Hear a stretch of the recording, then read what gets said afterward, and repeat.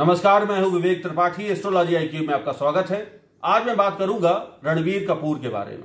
मैं उनके सिग्नेचर के माध्यम से, यानी कि ये मेरे पास जो सिग्नेचर है, इससे बताऊँगा कि उनका व्यक्तित्व और भविष्य क्या कहता है, इनकी शादी के बारे में बताऊँगा, इनके बच्चों के बारे में बताऊँगा, और यहाँ तक कि इनका आने वाला फिल्मी कैरियर कैसा होने वाला है, इस सिग्नेचर से जो मेरे पास है, उसको देखते हुए मैं परत दर परत बताऊँगा। देखिए सिग्नेचर अगर आप ध्यान दें, यहाँ पर रणबीर का आर बहुत बड़ा बनाया गया है और यहाँ पर कपूर का ये के लिखा गया है, रणबीर ऊपर लिखा गया, कपूर नीचे लिखा गया है। नीचे एक लहर वाली लाइन इन्होंने खींची जो स्ट्रेट नहीं गई है। कपूर में आप देखिए तो दो ज़ीरो ऐसे बने, बनाए गए हैं यहाँ पर।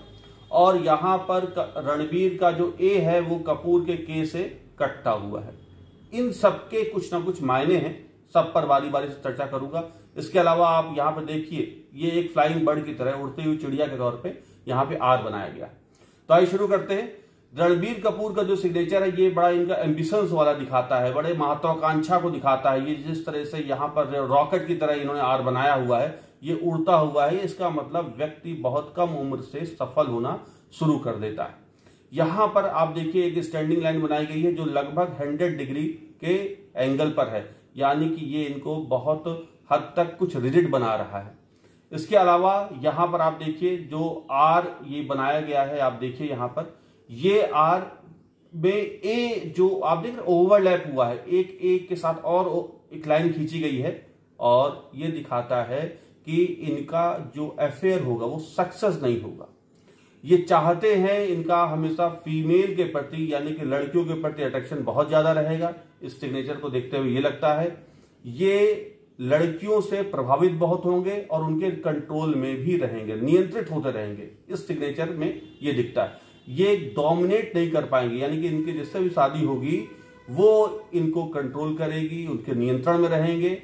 और आपको एक बात, सबसे बड़ी बात बता दूँ, यहाँ पर के के इनका कैरियर भी है और के यहाँ पत्नी का स्थान भी दिखाता है। ये ए को काट रहा है, इसका मतलब ये हुआ कि इनका जो वैवाहिक जीवन है वो सफल नहीं होगा। ये सत्य प्रतिशत सत्य है, ये भविष्यवाणी है कि इनकी जो पहली शादी होगी वो टूटेगी। तलाक तय है, ये टूटना तय है, जिससे भी इनकी शादी होगी, और लव मैरिज होगी, ये भी कंफर्म है, लेकिन ये शादी टूटेगी, बहुत जल्द ज़्यादा लंबी नहीं चल पाएगी। उससे एक संतान होगी, इस सिग्नेचर में यहाँ पर ये दिखता है। इसके बाद यहाँ पर आप देखिए, इन्होंने बहुत क्रिएटिव से बनाया गया, कपूर लिखा हुआ है। रणबीर में ए एन तक तो सब ठीक लिखा, फिर बी आई आर अलग अलग दूर दूर लिखा हुआ है। ये इनको सक्सेस में देरी करा रहा है। आफ्टर 35 ये थोड़ा इनको सक्सेस लेट मिलेगी, यानी कि रह रहकर के इनकी फ़िल्में चलेंगी। फ़िल्मों का जो सफलता का प्रतिशत है, वो 40 परसेंट रहेगा, इससे ऊपर नहीं रहेगा। नीचे इनका कैरियर का जो ग्राफ है, वो चूँकि आप देखिए, रणबीर के नीचे कपूर लिखा हुआ है, इसका मतलब इनको कपूर खानदान से बहुत फ़ायदा। इसका मतलब इनको पिता, माता और अपने खानदान, देखिए ये बेस क्या हो गया? यहाँ पे कपूर हो गया।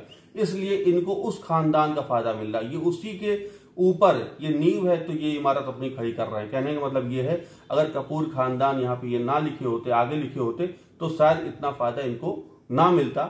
यहाँ पे कपूर खानदान के जितने भी लोग होंगे, वो इनको बहुत सपोर्ट करेंगे। इसके अलावा अब आप देखिए यहाँ पर ये लाइन लहर लेते हुए जा रही स्टेट नहीं है यानी कि इनके लाइफ में कंफ्यूजन बना रहेगा।